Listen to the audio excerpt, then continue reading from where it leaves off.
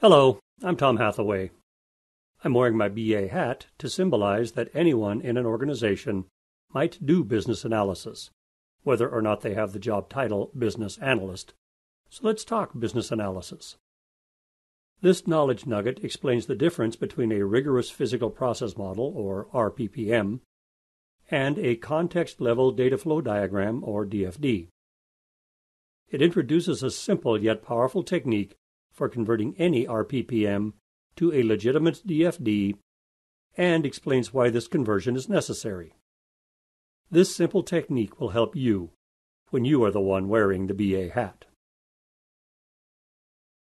At the very beginning of any project, one of the most important decisions that someone has to make is what are the boundaries of this project?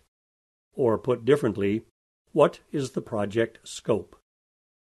With only the authority of the one wearing the BA hat, I cannot make a decision regarding the scope of the project. A project sponsor, the common title for the individual in the organization who is funding a project, or someone with similar authority has to define the project scope. To assist the decision maker in the scope discussion, a rigorous physical process model, RPPM, showing the movement of material and data through an organization is a fantastic tool.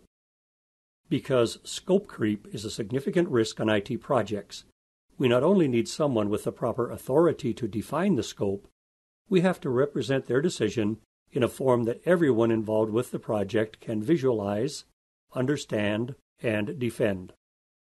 One of the simplest tools for visualizing project scope is a context level data flow diagram or DFD.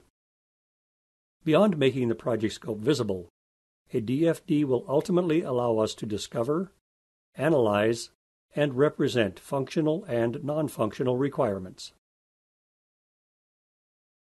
Once we know the project scope, it's really easy to convert an RPPM to a context level DFD. We just need to make some minor adjustments. Circles on an RPPM represent people or places, so they naturally have a noun name. Circles on a DFD, however, represent processes which have a verb object name, do something to something, and are in scope for our project.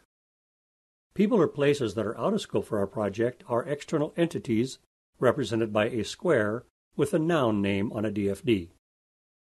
This distinction is what makes the project scope stand out on a context level DFD. Our example is based on the following notes from our initial interview with Mary, the Department Manager of Order Entry.